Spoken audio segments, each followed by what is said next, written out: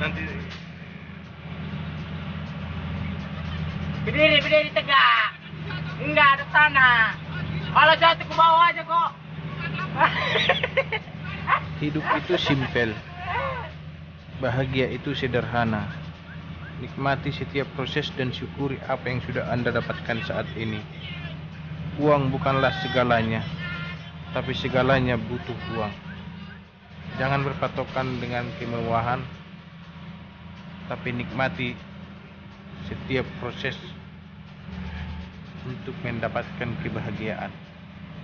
Jangan mengeluh, tetap semangat, dan jangan lupa untuk berdoa.